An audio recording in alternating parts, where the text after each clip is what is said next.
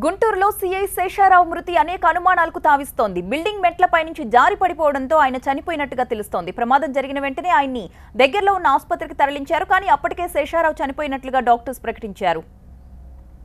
ఆయన మృతిపై కుటుంబ సభ్యులు ప్రవర్తిస్తున్న తీరు ఇప్పుడు అనుమానాలను రేకెత్తిస్తోంది. ఘటన జరిగిన ప్రదేశంలోకి మీడియాని కూడా అనుమతించలేదు.